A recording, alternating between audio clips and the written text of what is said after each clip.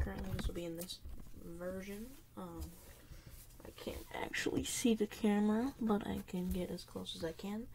Um, so I'm gonna start off with a Thunder Mage. This is so some of these are gonna be those three that I already converted into card stack, which I'll have to redo again. I'm right here, so I have the Thunder Mage. It is in the Electric of the Mage class, which classes will be changed to be like rarity instead. This is the Thunder Mage. At any point, you may take away 50 armor and add 50 health. It has a, a strength of 50 and an armor of 150. Next we have, oh, whoops, I have to turn that over.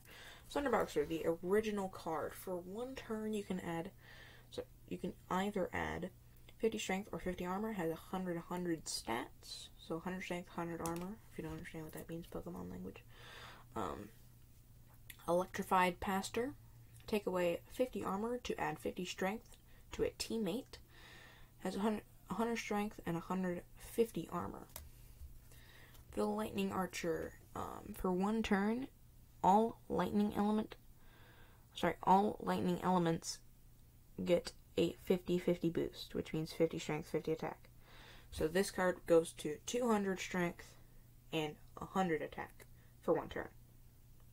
Oh, this is all lightning element. Yeah, I'm gonna change that to elements. Um, so we're doing attack cards first. If you didn't didn't tell, couldn't tell. Um, hold on, let me read this because I can't. I can hardly read it. Um,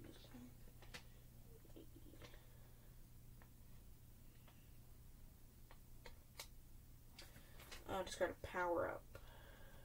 So power up cards are a thing in this game, so I'm gonna have to say power up card and any pencil markings I make will be changed. So this is the Flaming Mage. Sorry, Fire Mage. Um, discard a power up and has 100 strength and 150 armor. Flaming Warrior. Um, revive one attack card if you pay an additional token. If you pay the token cost.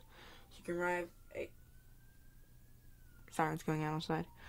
Um, revive one attack card. Hold on. Revive one attack card if you pay the token cost. 150 strength and 100 armor. So what that means is, let's say my Thunder Mage dies, has one token cost. Um, and I have this on the field, I can pay the one token cost, and it is back into play. Makes it so that way you still have permanently down cards, and I think I have a doggy outside. Yep. Hey, boo boos. Hi. Hi, yeah, yeah, yeah. Come here. Come here. No. Okay. I'll be back. Anyways, um, I have the Flaming Archer. Oh, wait. Uh, yeah. Okay. Flaming Archer, discard one instant card. So, instants, we'll talk about that later. Um, which actually should be, the attack card should be on the screen. Um, it has a strength of 100 and a armor of 150 for the archer. Pyropaster. Switch this card's stats with one of your opponent's card stats. Strength 100, armor 150. So it doesn't have terrible stats, but it has semi bad stats. So since that was the entire way through the attack cards, I will do a face kind of cam thing, then return it back to this stage, just so that way I can put down power ups if you want to just read those. Fast forward in the clips, and actually the timestamps down below in the video. um. So those are the attack cards, and I'll get I'll be right back. Hi guys, uh, this is just so I can. There we go. Yay, power ups. Also, the rarities will definitely change. Don't trust the rarities. Actually, just um, yeah, don't worry about them. Bear right, right back to the review. I look like a weirdo and an idiot doing that. But I really don't care. Okay, blinding light for two turns. Um, negate all negative effects. For example, taking away your strength or armor. Revi- Revisation Gem. Um, revive one card on your side of the field. Just it's just a free revive. Think of it as a free life. But it's instantly it gets discarded after it's used. Stone Labyrinth. For one turn, one of your opponent's cards is unable to attack. Electron. For three turns, one of your one of your opponent's cards are weakened 50-50. So that means minus 50 attack, minus 50 armor. Sorry, minus 50 strength, minus 50 armor. Darkner. Your opponent's your opponent loses all positive effects for two turns. So that means um, since Electron does a negative effect to you, um, and it'd be a positive effect for them, you pretty much just skip two turns of that. And then you just totally skip the Stone Labyrinth. So it's a little bit. Yeah, it's pretty much just brightener for you. But, um, that means. So, so, like, let's say. But it also works as if they get a strength boost. That strength boost goes away for two turns. So that's pretty nice. Token. Um.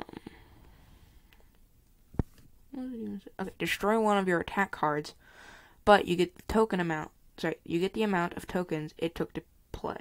So, for example, you for the Thunder Mage, you could sacrifice. You could use the token. Um, you could use the token power up. Get rid of it, and you get a token. You just get a token. So basically, you get two to- tokens that turn, and it just went under the laptop.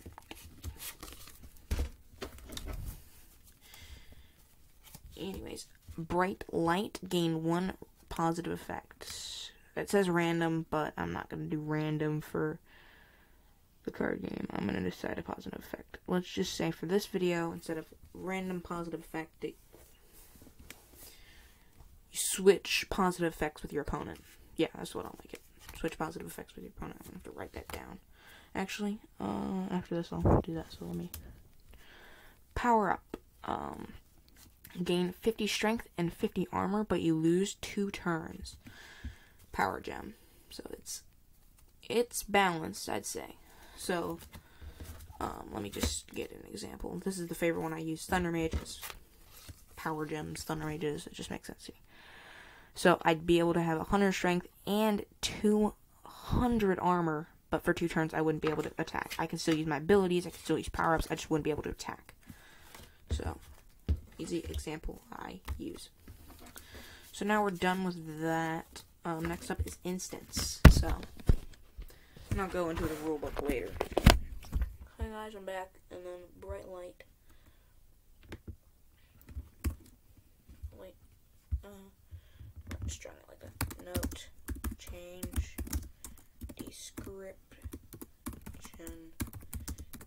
remake to switch the positive effects of your switch the positive effects. So that means if your opponent has a boost in their strength or something, for example, let's say they had the power gem, uh, for one turn, um, actually, for one turn. So that means for one turn you would have that boost without the negative part of it. So like you'd be able to attack right away. Pretty OP, kind of, because it's only one turn. Uh, I'll keep these in order. Uh, just looking at like, uh, uh, I think I did after. I'm just gonna say. Anyways, uh, let's. Oh wait, hold up. I gotta confirm that it's on blinding light thing. There we go. There we go. Uh, this one will be a lot easier, and I'll explain what all these mean later. Back to the boat. Hi guys, back to review. Um, studded shield. You take no damage. So let me just explain instants. You instantly discard them, and the effects are played for that one turn. So for that one turn, you take no damage. I'm gonna do that in the remake, but that's kind of an obvious one, so I don't have to write that one down. Trade in exchange for of you paying the token value of one of your opponent's cards, you discard it. So that means, so your opponent had a, a Thunder Mage and you had one token, you'd be able to discard it by paying that one token if you have the instant card trade. Stone Saber. For one, sorry, for one turn, one of your opponent's one of your card gains 50 more attack. So that means like it's holding the sword, so you gain 50 attack, exactly as it says. Um, but blinding light will make it so that your your opponent gets that if they played it. Okay. Um. So I actually made two instance instant remakes. Uh, for three turns, one of your opponent's cards has 50 armor taken away. So this is Electro Strike, so it loses 50 armor, exactly as it states. Um, Flaming Sword, half the damage is dealt this turn, or half your opponent's strength is dealt. So basically, um, actually, I'm going to change that, make it so that it lowers your opponent's strength by 50. So your the Thunder Mage would be just like a meat shield or like a human shield for one turn. Or for that one turn, it wouldn't do any damage. So it wouldn't be a shield, it just wouldn't do any damage. Torch, um, discard, sorry, discard Darkener, which is one of the instants. And then this one is discard Bright Light. So if you have both of these, you could discard the negative and positive effects your opponent would gain. Negative effects your opponent would lose, positive effects your opponent would gain. Um, and then reflection, half of the armor damage. Hold up. Sorry, I had to do something. Okay, half the damage of damage dealt. Uh,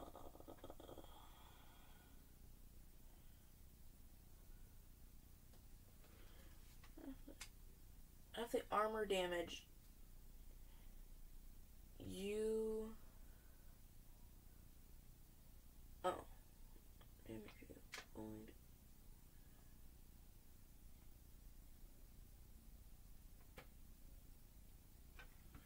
I can't even read reflection. I think it just. If not, I'm just gonna change it. Um, because it's a simple change. Half the damage.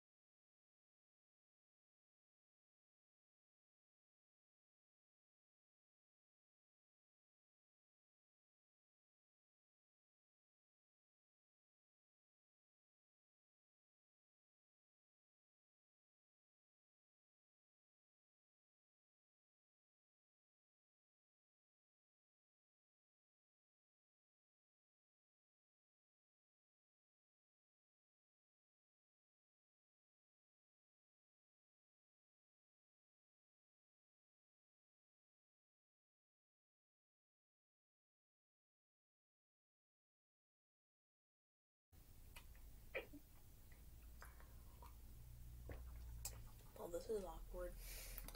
Anyways, I wanted to show you the two new background designs, and that's the reason why I'm actually going to be remaking um, the Thunder Mage again. So it'll go under three remakes. Uh, oh. Alright, anyways. Uh, fade up and fade down. So basically, as it goes down, the colors get brighter, or as it goes up, the colors get brighter.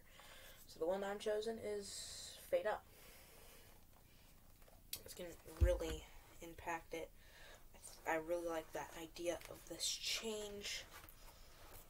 That's what I was trying to show you in the last video. And what I was trying to explain in this video is, um, with the tokens needed thing, there will be more. Eventually, I'm going to make it so that it's two tokens. Or, okay, so the maximum I'm going to go for this one is two.